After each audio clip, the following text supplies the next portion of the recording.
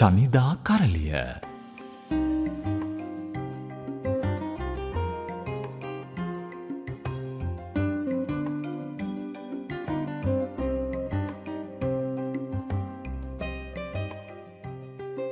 අයිබුවන් අද අපි ශනිදා කරලය අරගෙන එන්නේ මේ පරණ අවුරුද්ධ දවසේ කොළඹ ඉඳල අපි එනවා යාපනයට යාපනයේ ඉන්න අපේ සහෝදර ජනතාවත්.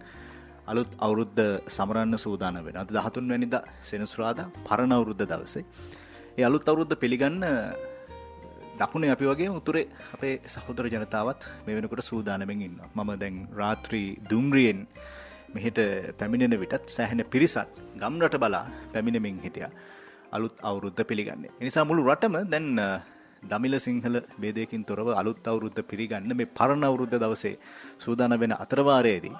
මේ සම සංස්කෘතික උත්සවය පිළිබඳව සහ අන්තර් සංස්කෘතික සම්බන්ධතාවයන් පිළිබඳව බොහෝ විට කතා කරමින් සහ සාහිත්‍යය ඔස්සේ ඒ පිළිබඳව විචිත්‍රවත් විදිහට කතා කරපු විශිෂ්ට ලේඛකයෙක් සහ විශ්වවිද්‍යාල ආචාර්යවරයෙක් සොයාගෙන අපි යාපනයේ විශ්වවිද්‍යාලයට පැමිණියා. මම මේන අතරතුරේදී මට අපිට ගොඩක් කලාවට දකුණේ කොහාගේ හඬ ඇහෙනවා. ඒ කොහා උතුරෙත් ඉන්නවා. උතුරෙත් අපිට ඒ කොහාගේ හඬ අහන්න ලැබුණා. එනිසා මෙතන මුළු ලංකාවම දැන් අලුත් අවුරුද්ධ වෙනුවෙන් සූදානම් වෙන මෙවන් පසුබිමක අපි සොයාගෙනවා යාපනය විශ්වවිද්‍යාලයේ ජේෂ්ඨ කතිකාචාර්ය ස්වාමිනාදන් විමල් මහත්මයා. අයිබෝවන් ඔබට. අයිබෝවන්. ඔබ මතන්නේ දැන් ඔබේ වාසභූමිය බවට පත් කරගෙන තියෙන යාපනේ හැබැයි ඔබට ඉන්න මිතුරන් පිරිසක් දකුණේ ඔබේ ළමා කාලය හෝ තරුණ කාලය මං අසා ඇති අන්දමට ගෙව්වේ දකුණේ කැන ගාල්ල ප්‍රදේශයේ. ආන ගාල්ල ප්‍රදේශයට වඩා කඳුකර ප්‍රදේශයේ බදුල්ල දිස්ත්‍රික්කේ නම් මමිතන්නේ ඇත්ත වසේම සමස්තයක් හැටියට ගත්තම ලංකාවේ හැමතනක්ම මගේ ගම හැටියට තමයි හැලක්කෙන්නේ මොකද දෙමල කියපනත් තියෙනවා යාදු මූරේ යාවරුම් කේලික කියලා. කියන්නේ සියලු දෙනාම එකම ගමේ සියලුම දෙනාව න්‍යායෝ කියන එක. මහිතන එක ඉතාමත්ම පැරණි කියමනක් ඒ වගේ මේක තුළින් ලොකු දර්ශනයක් පෙන්න්නනවා මොකද සියලුම දෙනාව ඥාතින් හැටියට සියලු දෙනාම අපේ ගමය හැටියට සලකන්නේ කියලා මහිතන හින්ද මහිතන වැදගත්වෙන මුල් ලංකාවම එකම ගමක් හැටියට සැලකීමේ ඇති වැරද්දක් නැහැ කියලා මහිතනවා ඔබට ලංකාවේ විවිධ තැන්වලට යන්න මොකක්ද හේතුන කැන ඔබේ ළමා කාලය හෝවේවා ඔබේ තරුණ කාලය හෝවේවා දැන් ඔබේ පරිණතවයේදී ඔබ යාපනය ප්‍රදේශයේ ගත කරන එහෙම තැනින් දැනට ඔබට යන්න සිදුවනයයි.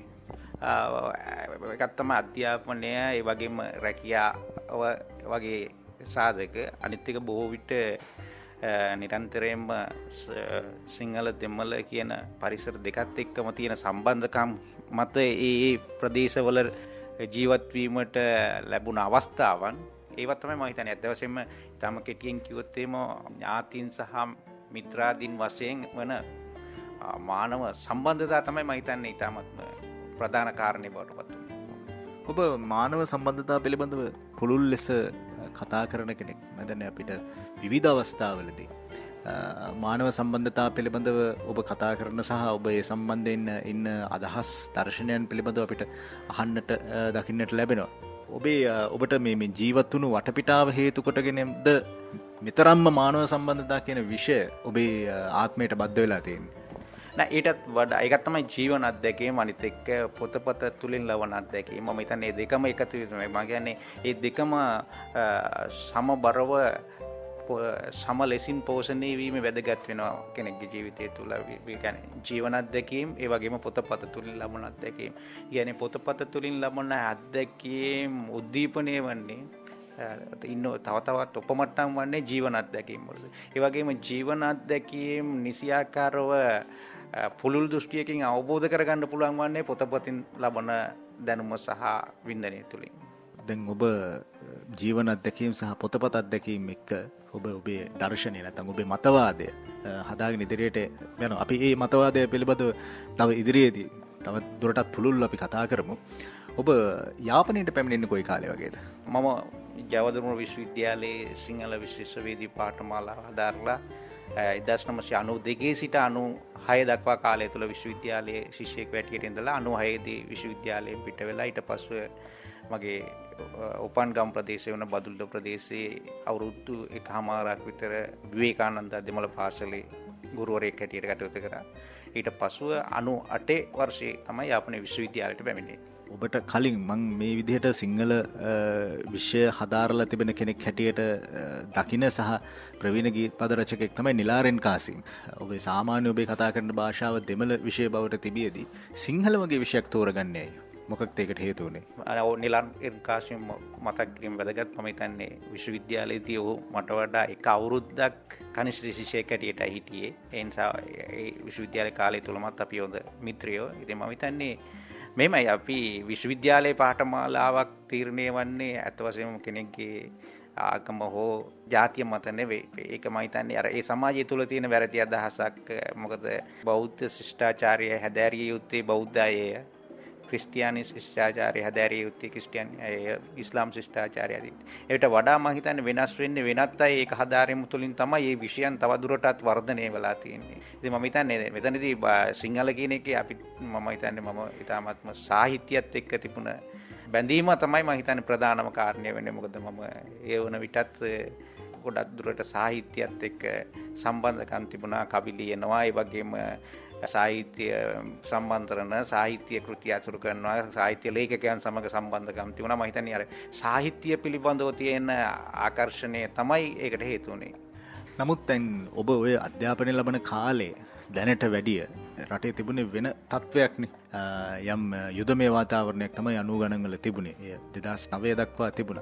ඒ වගේ කාලෙක රටේ පැවතුණු තත්ත්වයන් එක්ක මේ වගේ විෂය තෝරා ගැනීමේ දී ඔබට යම් යම් ගැටලු සහගත තත්වයන් බාහිර සමාජයෙන් ආවේ නැත්ද නෑ ඇතෝසේ මෙහෙම බාහිර සමාජයෙන් ආවේ නැහැ. අනිත් එක ඒ කාලේ වනකොට ඒක අවශ්‍යතාවයකුත් තිබුණා. මොකද මම ඒ වන විටත් සිංහල සහ දෙමළ කියන මේ භාෂා දෙක තුලින්ම ගණිතුරු කරන සමාජය අතරේ යම් කිසි සම්බන්ධීකරණය වැඩක් කරමින් සිටියා. එතකොට මම හිතුවා මම ඉතාමත් වැදගත් වෙනවා මේ තුල තවත් වර්ධනය වීම මොකද කියන්නේ.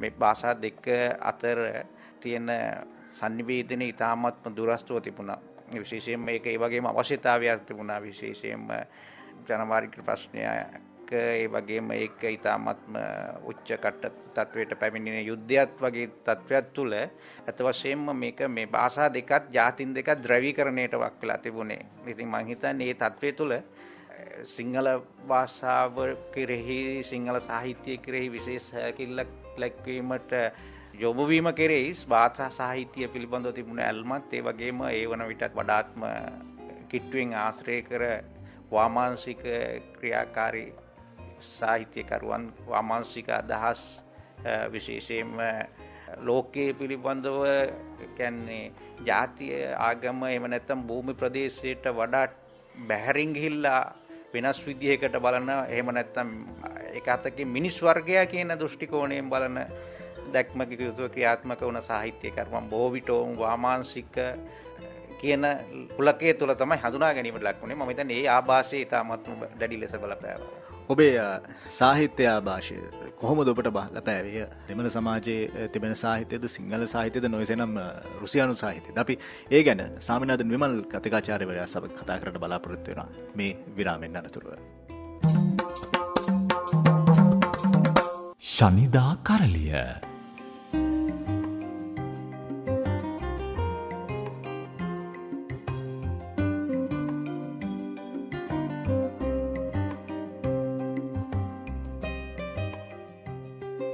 අද අපේ මේ පරණවුරුද්ධ දවසේ ඔබ යාපනය ප්‍රදේශයේ සිට යාපනය සරසවේ එතල තමයි අපි මේ වැඩසටහන අද පිරිනමන්න ඔබට යාපන විශ්වවිද්‍යාලයේ ජේෂ්ඨ කතිකාචාරය සාමිනාදන් විමල් සමග අපි මේ කතා කරමින් ඉන්නේ. මේ වැඩසටහනට පැමිණි බොහෝ නිර්මාණකරුවන් පැවසූ දෙයක් තමයි ඔවුන්ගේ නිර්මාණ ජීවිතයට බොහෝ විට බලපෑම් කරලා තියෙන්නේ රුසියානු සාහිත්‍යය. රුසියානු පොතපත. සෝවියට් පොතපත රුසියානුවටත් වැඩිය සෝවියට් පොතපතද පසුවනේ රුසියාව බවට පත්වනේ ඔබටත් එහෙමද මොකද ඔබ වශයෙන්ම ඕ මම හිතන්නේ අපිට මෙමයි දැන් ඇත්ත වශයෙන්ම ඒ කාලය වන විට පරිවර්තන සාහිත්‍ය හැටියට ඉතාමත්ම බහුලව තිබුණේත් සහ ඉතාමත් වැඩි පාඨකයන් අතරට ගිය සාහිත්‍ය බවට පත් වෙලා තිබුණේ රුසියන් සාහිත්‍යය. ඉතින් ඒ කියන්නේ රුසියන් සහ සෝවියට් කියන සාහිත්‍ය දෙකෙන්ම අපි හිතනවා මේ බොහෝ විට ඔය ඒ කියන්නේ දෙක බෙදෙන්නේ විප්ලවයට පෙර සහ විප්ලවයට පසු කියන අදහසෙන්. ඉතින් මම හිතන්නේ ඒනුත් විශේෂයෙන්ම රුසියන් සාහිත්‍යය මම හිතන්නේ ලංකාවේ වාමාංශික ව්‍යාපාරයේ විසින් සිංහලින් සහ දෙමලින් කියන දෙපෙකින්ම දෙ සමාජ දෙක තුළම ව්‍යාප්ත වෙලා තිබුණා. මම හිතන්නේ ඒක ඉතා විශාල වැදගත් කර්තව්‍යයක් වුණා. ඇත්ත වශයෙන්ම දැන් එතනදී අර හුදු අපි හිතමු සෝවියට් සාහිත්‍ය කියන තැනට එනකොට සමහර විට ප්‍රචාරකවාදී බව දක්නට ලැබුණත් රුසියන් සාහිත්‍ය කියන එනකොට ඒකේ තුල තියෙන ඊ타ත්ම විශ්වයේ පුරාවටම වලංගුවන ස්වභාවයත් එක්ක බලපුවම මම හිතන්නේ ඉතා එක ඉතා විශාල මෙහෙයක් මම හිතන්නේ වාමාංශික ධාරාව විසින් රුසියානු සාහිත්‍ය ලංකාව තුළ ප්‍රචලිත කිරීමට දරපු වෑයම විශේෂම මේක මේ සිංහල සහ දෙමළ කියන භාෂා දෙකෙන්ම සිදු වුණා. ඉතින් ඒ නිසා මම හිතන්නේ ලංකාවේ සමස්තයක් හැටියට සිංහල සහ දෙමළ කියන අයට ඉතාමත්ම සමීප ලෝක සාහිත්‍ය බවට පත් වෙනවා රුසියන් සාහිත්‍යය. මම හිතන්නේ ඒ අනුව බලන විට මමත් ඉතාමත්ම ආකර්ෂණීයට ලක් වූ සාහිත්‍යයක් හැටියට පවතිනවා. දැන් අත අත වශයෙන්ම මේ වන විට රුසියාවේ සමාජවාදී බිඳ වැටිලාද ඒ සමාජවාදී තියෙනවා. ඒ වගේ කතාත් එක්ක ලෙනින් පිළිබඳව හෝ මාක්ස්වාදය පිළිබඳව තියෙන මතභේද ඉස්මත්තුවට පැමිණුණාත කිසිම කෙනෙකුට තවම හැකියාවක් නැහැ රුසියන් සාහිත්‍යය කියන එක ඉතාමත්ම නීරස සාහිත්‍යයක් හෝ රුසියන් සාහිත්‍යය වැදගම්මට නැති සාහිත්‍යයක් කියලා කියන්න. තව තවත් මැත කාලිනම් පවා එම සාහිත්‍ය අධ්‍යනය කිරීම සහ නැවත කියවීම වලට ලක්වීම සහ ඒ පිළිබඳව ඇගැවීම තවමත් පවත්තින ම හිතන්නේ ඒක ඉතාමත්ම වැදගත් දෙයක් ඉතින් ම හිතන ඒ අනු බලනට රුෂයානු සාහිත්‍ය විශේෂයෙන් වැදගත් මහිතනා මෙතනදී ඉතාමත්ම වැදගත්ම ලේකකව දෙන්න තමයි පයඩෝර් ඩොස්ටියෝස්කුයි ටෝල් ස්ටෝයි මහිතනි ටෝල් ස්ටෝයිෂා පයඩෝ ඩොස්ටෝස්කිගේ දෙදෙනගේ සාහිත්‍යය තුළින් ප්‍රකට වන ලෝක දර්ශනය මහිතන්නේ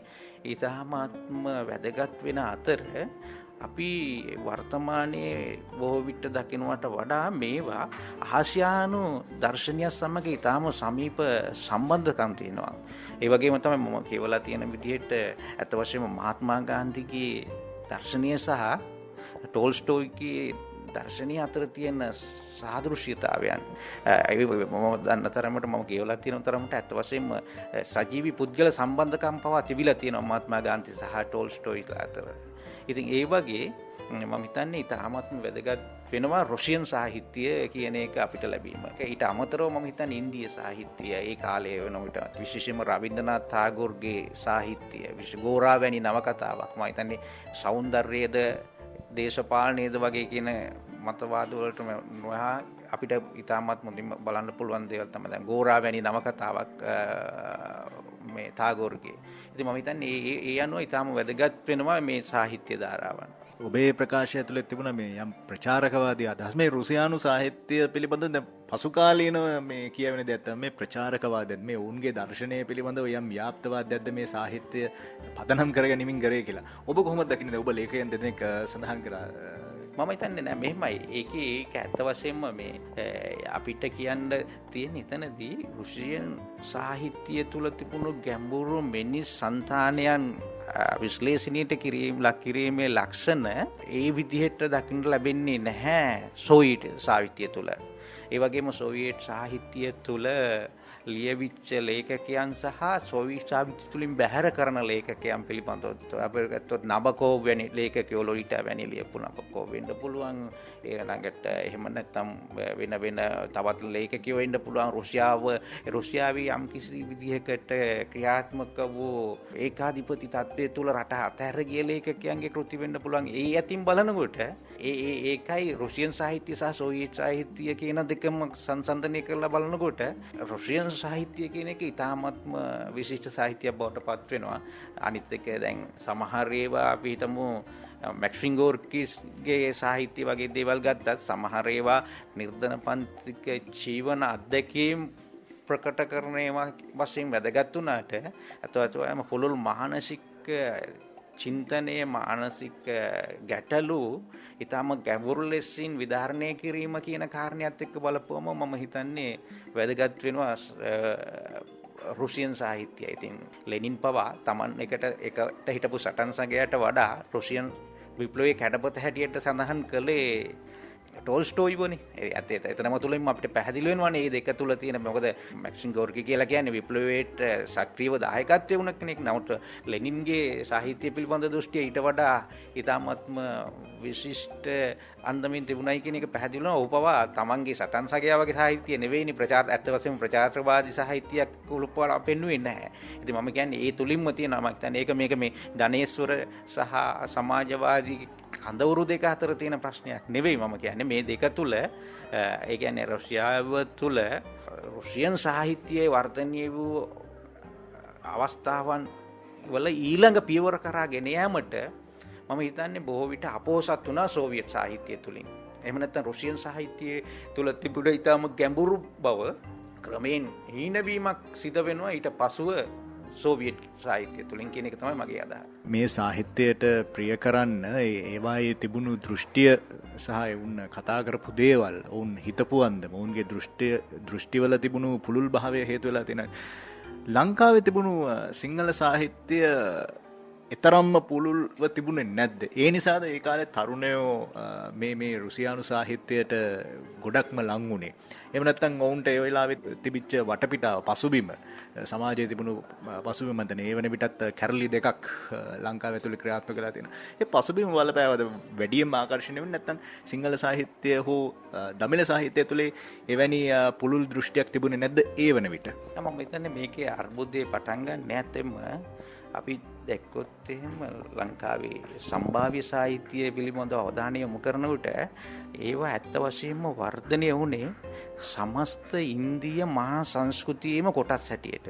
එතකොට මේ අපි දක්නට ලැබෙන සිංහල සාහිත්‍ය කලාව තුළ දක්නට ලැබෙන බොහෝ අංශ අපිට තේරුම් ගත හැකි වන්නේ සමස්ත ඉන්දීය සංස්කෘතිය තලය තුළ තබල විතරයි. ඉතින් ඒ ඒතකොට විශේෂයෙන්ම නිදහසින් පසුව කියන කාලවක අනුව වන විට ඉතාමත්ම වේගයෙන් මේක ඉන්දයානු මහා සංස්කෘතියකින් ඡේදනය වෙනවා. ඒ අතරේ උත්සාහයක් දරනවා බටහිර මහා සංස්කෘතිය සමඟ එකට ගැට ගැසීම සඳහා. නමුත් ඒ දෙකම සිදුවෙන්නේ නැහැ. මොකද එක අතකින් අතනින් ඡේදනය වෙනවා. ඒ අතර මේක ඇත වශයෙන් බටවිර සංස්කෘතිය සමඟ ගැට ගැසීමට තියෙන හැකියා විතා මාඩු ඉන්නේ මොකද ලංකාවේ පාරම්පරික සංස්කෘතික කලාසාහිත ඉතිහාසය සම්පූර්ණයම බටහිර කරණය කිරීමක් කිසිසේත්ම කරන්න පැහැ. ඉතින් එතකොට දිගින්දිකට මේක සිදුවීම තුළ සිදුවෙන්නේ එක්තරා විදික හොද කලාවීමකට පත්වෙනවා. එතකොට ඒක තමයි මහිතන්න ලොකුම එක ඊට ඊට අමතරව ජීවන අත්දැකීම් වලට වඩා මතවාද සඳහා ප්‍රබන්ධ කතා කියන එක තමයි ගොඩක් දුරට ඉස්මතු වෙලා එන්නේ. ඉතින් ඒ නිසා ජීවන අත්දැකීම් පිළිබඳව සාහිත්‍යම වශයෙන් කතා කරපු අයගේ අත්තේවට වඩා ජාතිකවාදිද සමාජවාදිද කියන කාරණය කියන එක තමයි ඉස්මතුවට පමුණු එන්නේ මම හිතන දෙක තුළ මැත්ත වශයෙන්ම බොල් සාහිත්‍යය ඉතාම උඩට මතු වුණ දෙකින්ම. සමාජවාදි සාහිත්‍ය කියන වර්ගීකරණය තුළත් ජාතික සාහිත්‍යය කියන එක තුළත් නමුත් මහිතන් ඉතාමත්ම විශිෂ්ට ලේඛකයෝ ඉඳලා තියෙනවා. ඉතාමත්ම හොඳින් ජීවන අත්දැකීම් ප්‍රකාශ කිරීම සඳහා සාහිත්‍ය කරණය යෙදුන අය. නමුත් ඒවා සමහරවිට මහා ධාරාව තුළට ඇතුළු නොවුණවා වෙන්න පුළුවන්. එහෙම නැත්තම් ඒ පිළිබඳ වැඩිපුර අවධානය යොමු නොවන යන්න පුළුවන්. නමුත් එහෙම තිබුණා. නමුත් තරුණයන් විශේෂයෙන්ම මහිතන්නේ බටහිර නොව රුසියනු සාහිත්‍ය වගේ දේවල් කෙරෙහි ආකර්ශණය වීමට මම හිතන්නේ මේ සාහිත්‍යය තුළ තිබුණ රික්තකය බලපෑව මොකද? ජීවන අත්දැකීම් සහ විවට වඩා යම්කිසි අර දෘෂ්ටිපහදයක් තුළම ක්‍රියාත්මක වීම තුළ මේ සාහිත්‍යය ගැන කතා කරද්දී සමාජවාදය පිළිබඳව කතා කර. එක එක්තරා විදිහක දේශපාලන ක්‍රමයක් පාලන ක්‍රමයක්. සමාජවාදය මේ සාහිත්‍ය කැටුව ඔවුන්ගේ දේශපාලන ධාරාවේ ගමන් කලාට ධනේශ්වර ඇතුළේ මේ සාහිත්‍යය පිළිබඳව ඉඩකඩක් නැද්ද? එකන්නේ පොතපත සම්බඳෙන් ඔවුන් අනෙක් සංගීතය හෝ නැටුම් හෝ සිනමාව කියන අර යම් ප්‍රාග්ධනයක් වැය කළ යුතු දෙවල්වලට පමණද ධනේශ්වරය තුළ ඉඩක් තිනෙම පොතපත කවිය වේ වගේ දෙවල්ලට ඉඩක් නැද ධනේශ්වර ඇතුළේ ඒ අනිත් පැත් මම හිතන්නේ දකින්න. මම හිතන්නේ දැන් අපි හිතමු අපි අද කාලය තුළ ධනේශ්වර සංවර්ධනයක් සහිත රටවල් හැටියට දකින්න රටවල් තියෙනවානි. ඒ රටවල් තුළ තවමත් සාහිත්‍යය පවතිනවා. නැට නාට්‍ය කලාව පවතිනවා. චිත්‍රපටි කලාව පවතිනවා. ටීවී ටීව එක තියෙනවයි කියලා මිනිස්සු චිත්‍රපටි බලන්නේ නැතුව නැහැ පොත්පත් තවම මුද්‍රණය වනවා. සමහර විට හොඳ ලේකකයන්ගේ පොත්පත් එන්න ඉස්සෙල්ල ඇඩ්වන්ස් මිනිස්සු බඳින පොත ගණ්ඩ එතකොට නාට්‍ය ගැන්නේ හිතුන වෙලාහකට ගිහිල්ලා නාට්‍යයක් පෙන්න්නනවා කියලා බලන්න පැහැ සමාරට ටිකට් ගණ්ඩෝනි සතියකටවත් ඉස්සෙල්ලා. ඉතින් මම හිතන්නේ ධනේශ්වර රටවල් වල නියම ධනේශ්වර රටවල් වල සාහිත්‍ය කලාව කියන එක පවත්වාගෙන යනවා. ඒක අවශ්‍ය වෙලා තියෙනවා. මොකද ඒක ඒක ඒක ඒ ක්‍රමයේ තුලට ක්‍රමයට අවශ්‍ය වෙනවා. මොකද ධනේශ්වර ක්‍රමයක් පවත්වාගෙන යාම සඳහා මෙවැනි කලාවන් දේවල් අවශ්‍ය වෙනවා. ඉතින් ඒ නිසා මම හිතන්නේ ධනේශ්වරයේ තමයි සාහිත්‍ය කලාව පවත්වාගෙන යන්නේ. සමාජවාද කියලා මේ කියන්නේ පවත්වාගෙන යන්නේ නැහැ. සමාජවාදී තුළ තමයි ඒට පැවැත්මක් තියෙන්නේ කියන එක වෙනස් තත්වයක් අපිට ඒ කියන්නේ ඒකට උදාහරණ අපිට මේ වන විට සමාජවාදී මේ රටක් තියෙන්නේ මේකේ මෙහෙම සාහිත්‍ය කලාවට නැහැ කියලා උදාහරණ පැවැත් දැක්වීමට හැකියාවක් නැහැනේ. නමුත් වැරදි අදහසක් තමයි ධනේශ්වරී වර්ධනයත් සමගම සාහිත්‍ය කලාවල් නැතිවීමට ලක් වෙනවයි කියන එක. දැන් අපි හිතමු අපිට සාහිත්‍ය කලාව සඳහා වන තියෙන අවකාශයන් වැඩිවීමක් දක්නට ලැබෙනවා ධනේශ්වර රටවල ඇතිවන තාක්ෂණය සම්බන්ධ වර්ධනයන් සමඟ අපි කොච්චර ගත්තත් එහෙම පෙර කාලේ තරුණයකුට කවියක් ලිව්වම ඒ කවිය පත්තරේ පල වෙනවන්ද නැද්දකින් එක තීරණය වෙන්නේ සංස්කාරකවරයාගේ තයන්තම නමුත් අද වෙනකොට පුළුවන් තමන්ගේ කවියත් තමන්ගේ පේස්බුක් එක තුළින් මෙය කරන්න. එතකොට ඒ කවිය ඉත හොඳ කවියක් නම් අනිත් අය බෙදා හදාගන්න ම හිතන්න මේවා සේරම ධනේශ්වරී වර්ධනයත් එක්ක සම්බන්ධ දේවල් ඒ නිසා මම හිතන්නේ අපි එහෙම මේ ධනේශ්වරී කියලා කියන්නේ සාහිත්‍ය කලාවට හතුරෙක් කියන එක. මොකද අපිට එහෙම කියන්න වෙන්නේ සංසන්දනය කරන්න වන්නේ සජීවී අත්දැකීම් සහිත සමාජවාදී සාහිත්‍ය කලා පරිසරයක ඉඳගෙන සමාජවාදී ක්‍රමයක් තුල සාහිත්‍ය කලාව මේට වඩා වාණිජ අරමුණු වලින් වෙනස්ව මහජන සුභසිද්ධිය වෙනුවෙන් නැඹුරුවක් දැක්විය යුතුයි කියන මතය පවතිනවා මිසක් ධනේශ්වර සමාජයේ තියෙන සාහිත්‍ය කලාවන් මාංජකරණයට ලක්වීම තුළ ඒකෙන් කොහොමද ගැලවෙන්නේ කියන ප්‍රශ්නය තියෙනවා මිසක් ධනේශ්වර සමාජයන් තුළත් සැබෑ කලාකෘති පහල් නොවී තියෙනවයි කියලා කියන්න බෑ. අපි බොහෝ දක්කින ශේෂයෙන් ලලිත කලාව ආශ්‍රිත වේවාය. එම නැත්තම් සංගීතය වගේ දේවල් වේවා බොහෝ විශිෂ්ට කරාකෘති සමහර විට ධනේශ්වර සංවර්ධනයක් සමග තමයි ඇති වෙලා තියෙන්නේ. හොඳයි අපේ සාමිනාදන් විමල් කතිකාචාරවයට සමඟ මේ යාපනය විශ්වවිද්‍යාල පරිශ්‍රය සිට ගෙන එමින් ඉන්නේ අපේ විරාමයක නතුරුව ඔහු කෘති කිහිපයක් පලකර තිබෙන අපේ ඒ පිළිබඳව දැනගන්නට බලාපොරොත්තු වෙනවා. ශනිදා කරලිය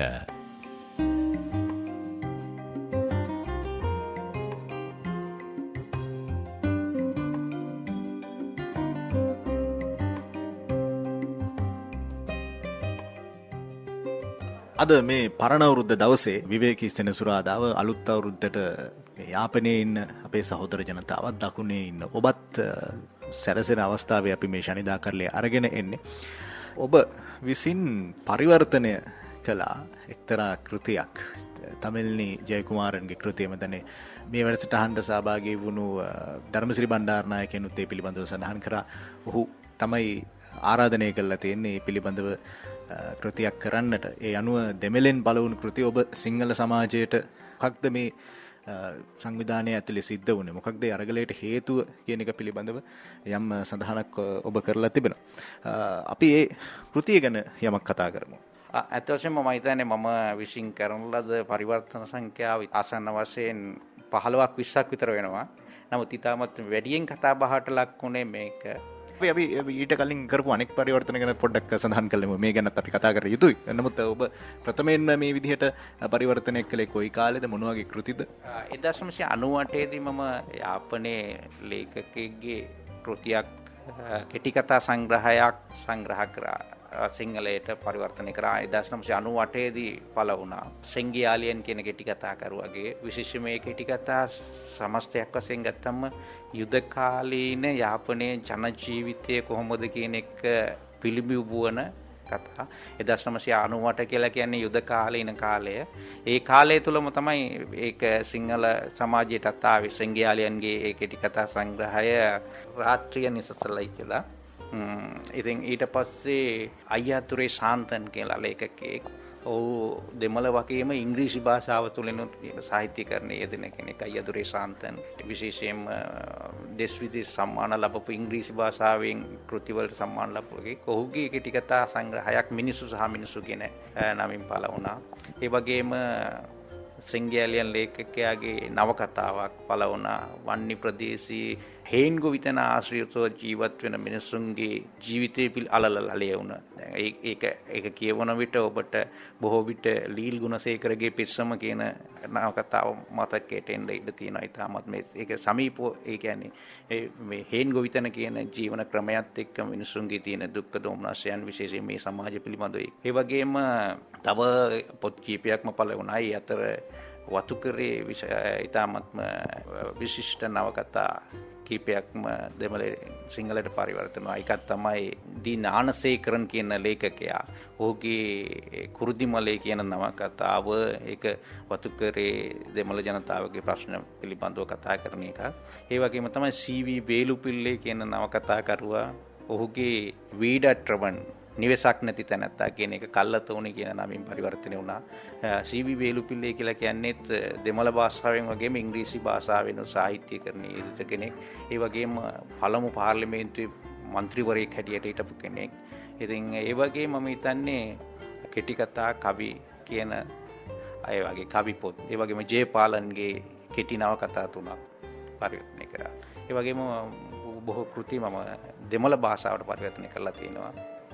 ඉතින් එහින්ද මම හිතන්නේ ඒ අතර මේක මේ පොත ඉතාමත්ම විශාල වශයෙන් කතාබහට ලක්ුණා මම හිතන්නේ ඒක එක්තරා කාරණයක් තමයි සාහිත්‍යය මේ ඇල්මට වඩා මේ එල්ටි සංවිධානය පිළිබඳව තියෙන උනන්දුවේ පිළිබඳව දැන ගැනීමට තියෙන උනන්දුව. නමුත් ඒ උනන්දුව නිසා ඒක ඉතාම ජනප්‍රිය වුණත් ඒ කෘතිය මම හිතන්නේ ඇත්ත වශයෙන්ම බහුවිධ කියවීමකට ලක් කළ හැකි කෘතියක් හැටියට තමයි මම දකින්නේ.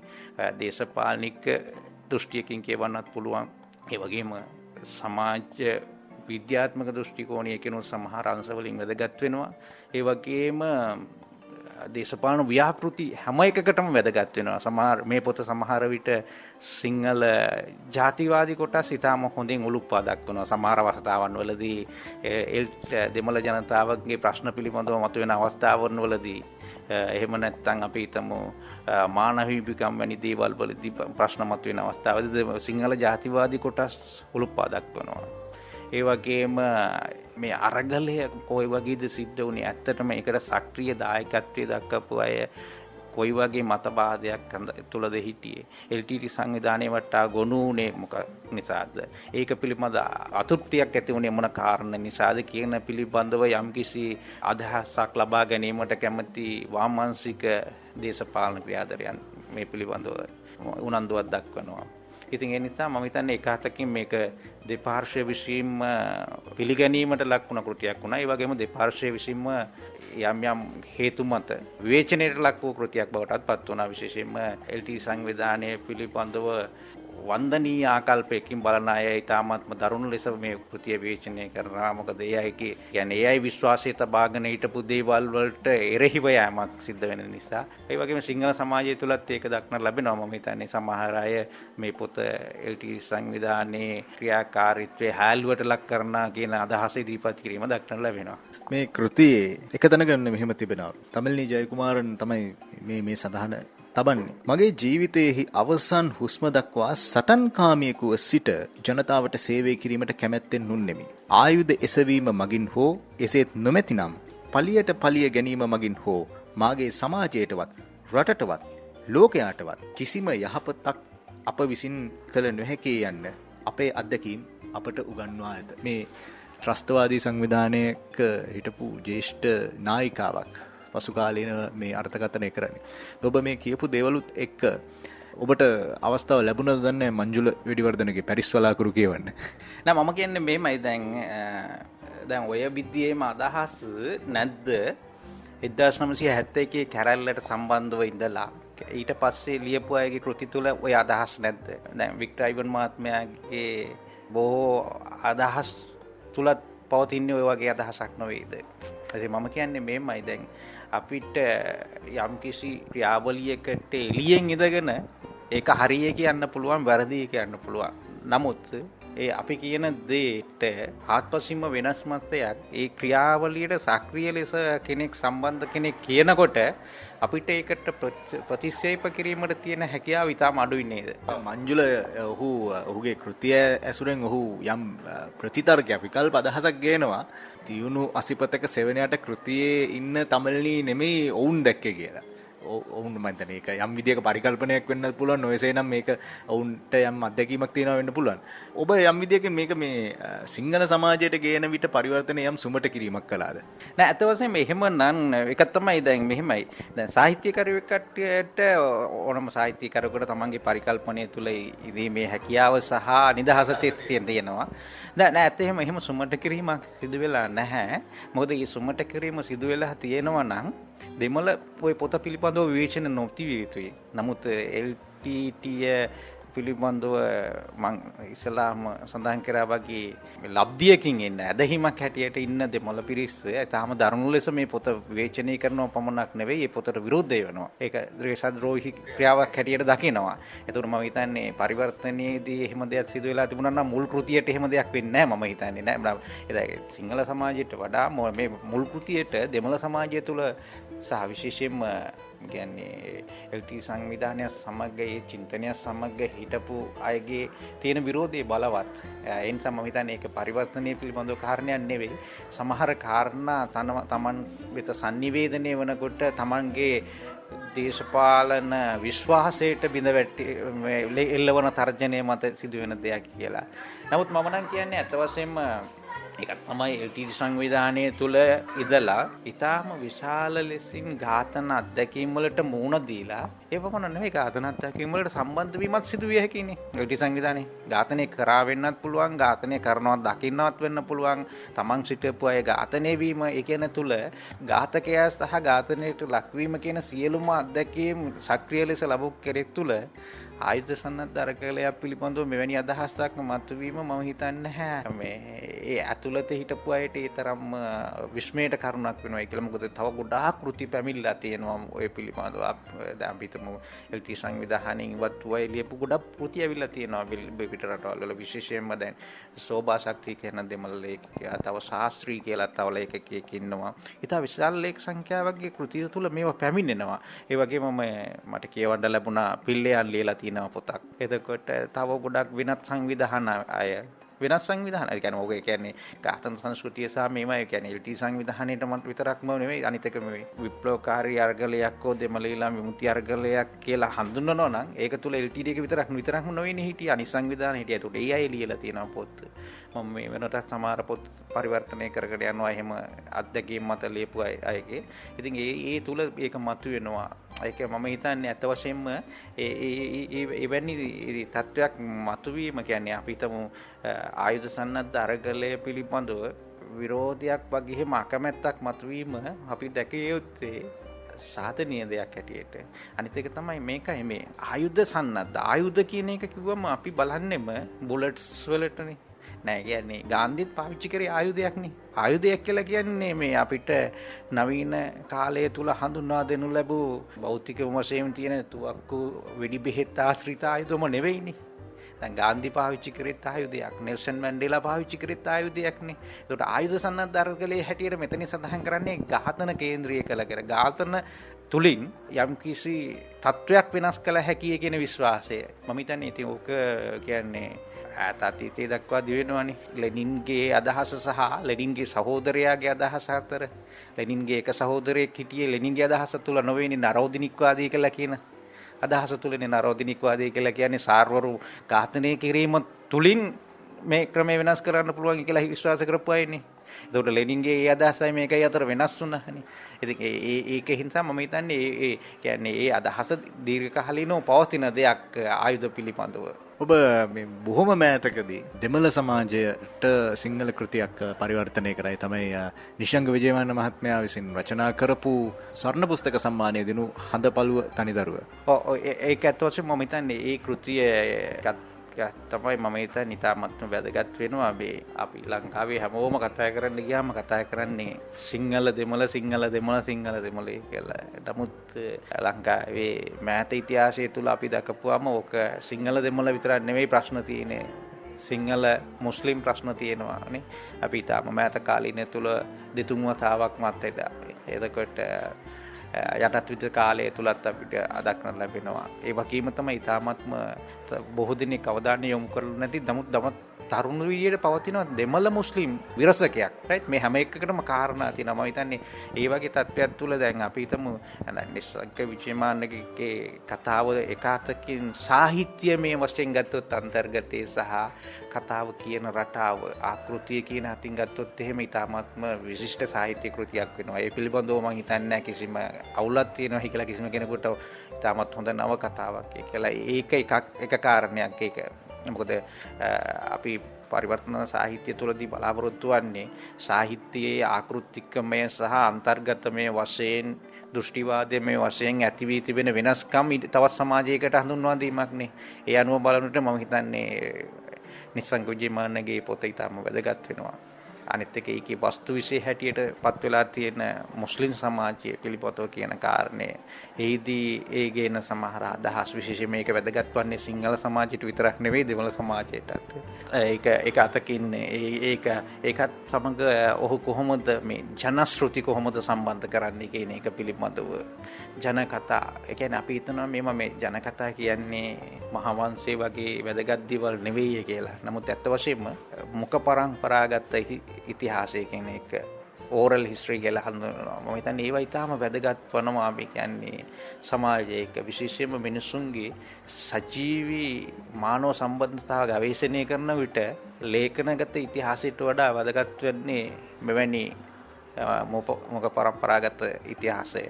එත විශේෂයෙන්ම මම හිතන්නේ ওই කතාවේ එන ඔය මේ මේ මේ රාජසිංහ රජතුමාගේ කාලයේ එහිදී අර මුස්ලිම් වයසක මාතාවක් රැකවරණේ දුන්නයි කියන ඒවා එහෙම ඇත්ත වශයෙන්ම කියන්නේ දැන් ওই කතාවට ඉස්සෙල්ලා අපි ඕවා අහලා තියෙනවා මොක පරම්පරාගත කතා හැටියට. ඉතින් ඒ නිසා මම හිතන්නේ ඒ ඒ ඒවා ඒ කියන්නේ සාහිත්‍ය තුලට කොහොමද මේ ඉස්ලාම් සංස්කෘතිය මෙතන ඉස්ලාම් ආගම නෙමෙයි ඉස්ලාම් සංස්කෘතිය තුළ. සිංහල ජන සංස්කෘතිය තුළ තියෙන අංශ කොහොමද එකට එකතු කරලා තියෙන්නේ කියන එකත් ඒ වියමන ඒ ඒ වෙනුවෙන්ම හුදෙක් ප්‍රචාරකවාදී නොවි කොහොමද මේක කොටලා තියෙන්නේ කියලා. මම හිතන්නේ ඊටාම වැදගත් වෙන්නේ එතනදී අතුවරයාගේ අවංක භාවයේ පැහැදිලි වෙනවා. සමහර දේවල් වලදී බොහෝ විට අපිට තේරෙනවා මේකේ අවංක බවක් ඔතෙන්ටික් ගතියක් නැහැ නේද කියලා. නමුත් මේකෙදී එහෙම එකක් නැහැ. මේකේ තේරෙනවා මේක මේ නිකන් සහජීවනයේ සඳහා ලියපු පොතක් නෙවෙයි. Tamanගේ අත්දැකීම් සාහිත්‍යමය ප්‍රබන්ධයක් හැටියට පත් කිරීම තුළදී දරපු අවංක උත්සාහයක් කියන එක මම හිතන්නේ ඒ අතින් වැදගත් වෙනවා. හොඳයි. අපේ පැයේ ප්‍රවෘත්ති ප්‍රකාශයට පැමිණිය යුතුයි. යලිත් ඉන් පසුව යාපනයට පැමිණීමේ බලාපොරොත්තු වෙනවා. ශනිදා කරලිය.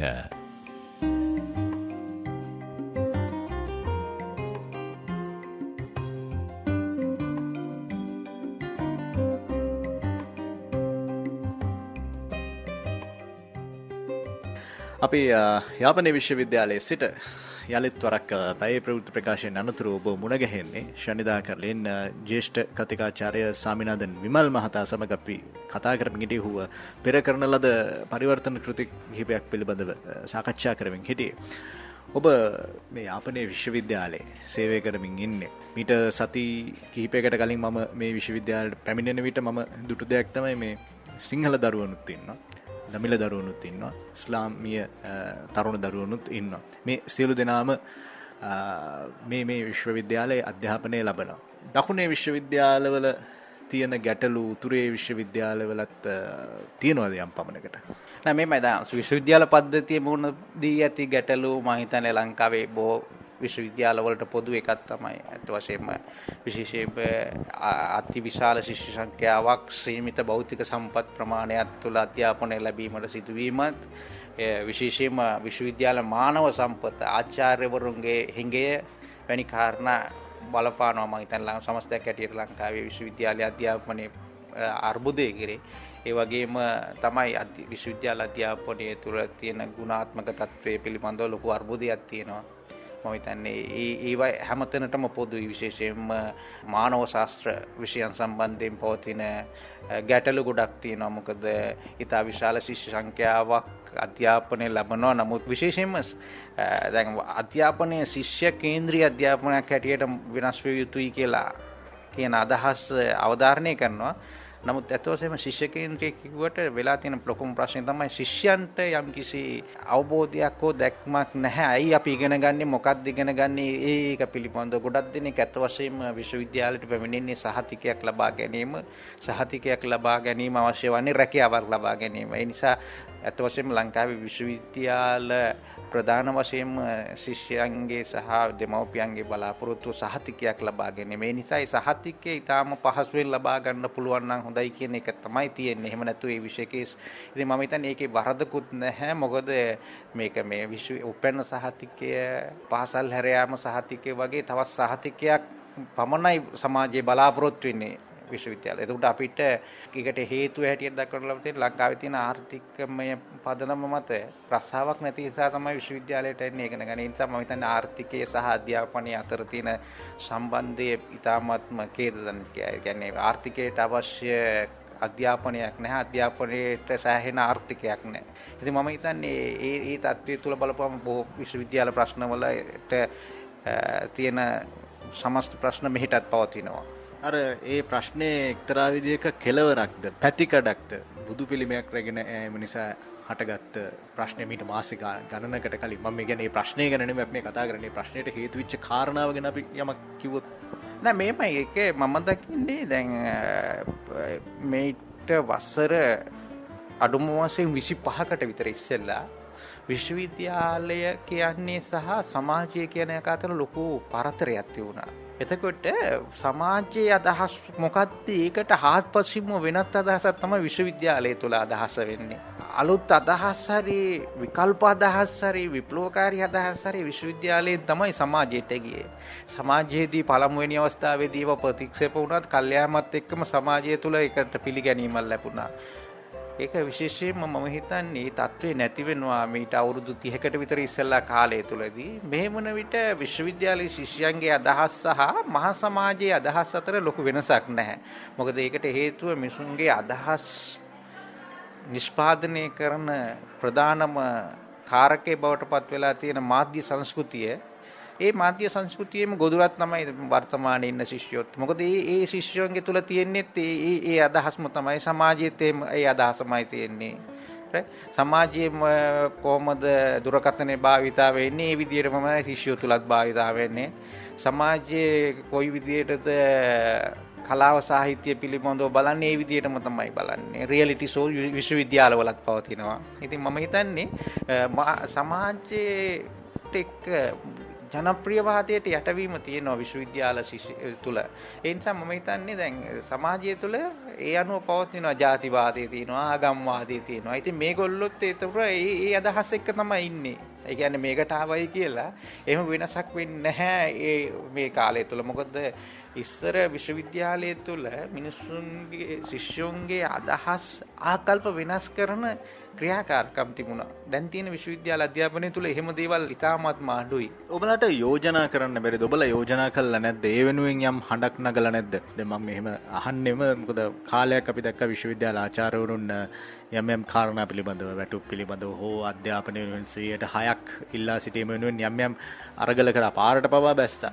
දැන් මේ මේ මේ තියෙන සංස්කෘතිය විශේෂයෙන්ම මේ අනාගත පරපුරනේ. දැන් විශ්වවිද්‍යාලයට එන්න අවස්ථාව ලැබෙන්නේ සීමිත ප්‍රමාණයකටනේ. රටේ උගත්ම කියලා හඳුනන තරුණ පිරිසින්නේ. දැන් ඔවුන්ට අත්වන ඉරණම මේ වගේ නම් ඒ තත්ත්වයන් වෙනස් කරගන්න ආචාර්යවරුන් හැටියට ඔබ පමණක් නෙවෙයි මම මේ කියන්නේ සමස්ත ආචාර්යවරුන් හැටියට විශ්වවිද්‍යාල පද්ධතිය බහර වෙන්න නිලධාරීන් හැටියට ඔබලා අතර යම් සංවාදයක් තියෙනවා සාකච්ඡාවක් තියෙනවද? නෑ මේම ඒ පිළිබඳව සාකච්ඡා විශ්වවිද්‍යාලීය මට්ටමේත් ඒ වගේම විශ්වවිද්‍යාලවලට පරිබාහිරවත් පවතිනවා. නමුත් ඇත්ත වශයෙන්ම මෙහිදී වැදගත් වන්නේ දැන් අර එතනදී පවා විශ්වවිද්‍යාලය තුල බහුතර මතයත් සමාජයේ බහුතර මතයත් අතරත් ලොකු වෙනසක් නැතිකම. දැන් විශ්වවිද්‍යාල අපිටම මේ අධ්‍යාපන ක්‍රමේ ලොකු වෙනස්කම් සඳහා මගේ අදහස නම් ඉතා විශාල මුදල් අවශ්‍ය වන්නේ නැහැ. ප්‍රතිපත්තිමේ වෙනස්කම් තමයි ගන්න ඕනන්නේ. නමුත් මේ ප්‍රතිපත්තිමේ වෙනස්කම් ගැනීමට මැලිවන්නේ ජනප්‍රියවාදී අදහස් වලට පහර වදී දේ තුලින්. එතකොට ඒක ඡන්ද පදනම් කෙරෙහි බලපායිද? ඒ වගේ දේවල් එක්ක එතකොට දේශපාලනික වශයෙන් ප්‍රශ්න වලට මුහුණ දීමට සිද්ධ වේද කියන එක. මම හිතන්නේ ඊට වඩා වෙනස් වෙන අඩුම වශයෙන් ලංකාවේ අධ්‍යාපන ප්‍රතිපත්තිය කියලා දෙයක් නැහැනේ. ඇත්තම වශයෙන් පාසල් අධ්‍යාපනයේ තුල ගත්තත් ඉතින් විශ්වවිද්‍යාල අධ්‍යාපනයේට හරි ජාතික විශ්වවිද්‍යාල අධ්‍යාපන ප්‍රතිපත්තියක් සකස් කර ගැනීමට හැකිනම් මම හිතන්නේ ඊටාම වැදගත් වෙනවා විශේෂයෙන්ම විෂය මාලා සංවර්ධනය ශිෂ්‍ය ක්‍රියාකාරීත්වය දැන් සිද්ධ වෙන්නේ ඇත්ත වශයෙන්ම ඉතා විශාල ශිෂ්‍ය සංඛ්‍යාවක් හැම වසරකම විශ්වවිද්‍යාලයට එනවා. දැන් ඔබ දන්නවා අපේ බොහෝ විට 10%කින්වත් වැඩි වෙනවා හැම අවුරුද්දකම ඊළඟ අවුරුද්දට වඩා ශිෂ්‍ය සංඛ්‍යාව. නමුත් ආචාර්යවරුන්ගේ ප්‍රමාණය වැඩි වන්නේ නැහැ. වැඩි කරන්නත් බෑනේ මේක මේ කියන්නේ එහෙම හැමෝ එහෙම ඒ කියන්නේ ආචාර්යවරු ඒක ඒක එහෙම ප්‍රමාණිකින් වැඩි කළ හැකියම හැකියාව පවතින්නේ නැහැ. ඒ ඉතින් ඒ නිසා අත වශයෙන්ම මම හිතන්නේ ශිෂ්‍ය බඳවා ගැනීම ක්‍රමය තුල පන්ති පැවැත්වීම විභාග පැවැත්වීම කියන තුල පුළුල් වෙනස්කම් ඇති කරන්න සිද්ධ වෙනවා. අනිත් එක විශ්වවිද්‍යාල කියලා කියන්නේ උගන්නන තැන්වලට පාස්පත් වෙලා තියෙනවනේ. අර උගන්නනවයි කියන එක තියලා තියෙනවනේ. කියන්නේ ඒකට නෙවෙයි ඇත්තම විශ්වවිද්‍යාලයක් කියලා කියන්නේ අධ්‍යයනය කිරීමක් ඉති අන්නේ තත්වයට කොහොමද කියන්නේ ඉගැන්වීම කියනක හරියට සිට අධ්‍යයනය අධ්‍යයනය කියනේදී ඉන්නේ පාර්ට්නර්ස්ලා කියන්නේ කොටස්කරුවන් හැටියට දැන් ඉගැන්වීමේදී ආ ගුරුවරයා කියන දේ ඉගෙන ගන්නවා. කියන්නේ උසස් පෙළදී ආර්ථික විද්‍යාව ඉගෙන ගන්නවා. ඒකේ ඉතිරි ටික මෙහෙට ඇවිල්ලා ඉගෙන ගන්නවා. නමුත් එහෙම නෙවෙයිනේ. සිද්ධ වෙන්න ඕනන්නේ. ඉතින් මම හිතන්නේ ඒ කියන්නේ අධ්‍යයන කියන තත්ත්වයට සඳහා වෙනස් කිරීම සඳහා මේවට අත වශයෙන්ම විශ්වවිද්‍යාල පද්ධතිය තුළ ගුණාත්මක වෙනස්කම් තමයි කරන්න ඕනේ. ඒ ගුණාත්මක වෙනස්කම් කිරීමේදී ඇත්ත වශයෙන්ම විශාල ක්‍රමෝපායික වෙනස්කම් සිදු කිරීමේදී ඉතා විශාල මුදලක් වැය වෙනවා වගේ දෙයක් නෙමෙයි මෙතන තියෙන්නේ. නමුත් ළමයින්ගේ සක්‍රීය දායකත්වය කොහොමද ලබා ගැනීම ගන්නේ කියන එක. මොකද ළමයිගේ උවමනාව තියෙන්නේ ඇත්තෙන්ම ඒ අය විශ්වවිද්‍යාලයට එන්නේ උපාසාතිකේ ගන්න නම් ඒක බොහොම ලේසියෙන් ගන්න පුළුවන් නම් එලහට ඒකෙන් පස්සේ රස්සාවක් නැති වුණත් මේ තරම් පොරයක් තියෙනවා විශ්වවිද්‍යාලවලට එන්න.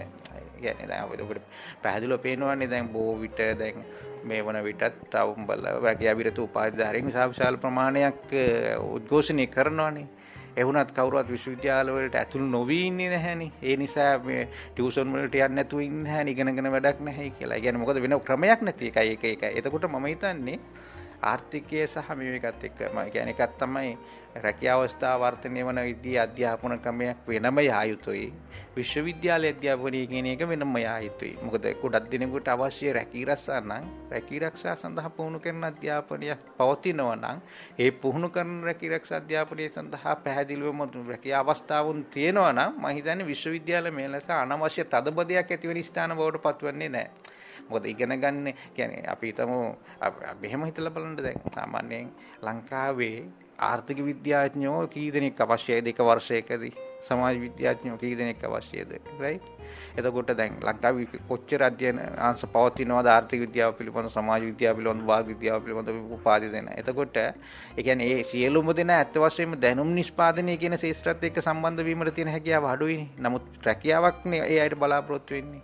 එතකොට ඔහුදු සිංහලෙන් හෝදු දෙමල ඉගෙනගෙන කොයි ගිහිල්ලා කොයිද රක්ෂාවක් කරන්න පුළුවන්නේ. එනිසා මම හිතන්නේ රැකියා කේන්ද්‍රී අධ්‍යාපනය කියන එක යන අතරේ විශ්වවිද්‍යාල අධ්‍යාපනය ඊට වඩා වෙනස් තලයකට ගෙනහැම මේක තමයි තියෙන්නේ. ඉතින් අනිත් එක විශ්වවිද්‍යාල අධ්‍යාපනය දැන් වෙනත් රටවල් වල ගත්තම මිනිස්සු විශ්වවිද්‍යාල අධ්‍යාපනය සඳහා යන්නේ යමක් ඉගෙන ගන්න ඕනේ කියන එක මතනේ.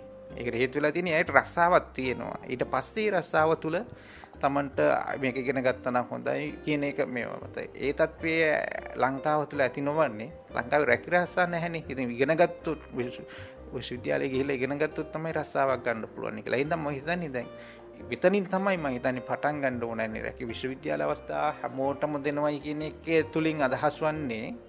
කියන්නේ ඒක මේ වරප්‍රසාදයක් නෙවෙයි. ඒකින් අපි දකින්නේ මිනිස්සුන්ට රස්සා නැහැ. එහින්දයි සියලුම් දෙනා විශ්වවිද්‍යාලවලට එන්නේ කියන එක. හොඳයි අපේ යළෙත් ශනිදා කරලෙන් මේ මේ අපි සිංහල සමාජය පිළිබඳව සහ දෙමළ සමාජය පිළිබඳ ලෝක අවබෝධයකින්න කතිකාචාරය සාමිනාද නිවල් මහත්ම පසුවෙන් හු ඒ වෙනුවෙන් තමන්ගේ සාහිත්‍ය භාවිතයන් සිදු කරමින්ගන්න අපි ඒ පිළිබඳව මේ විරාමෙන් අනතුරුව කතාබා කිරීමට බලාපොරොත්තු වෙනවා. ශනිදා කරලිය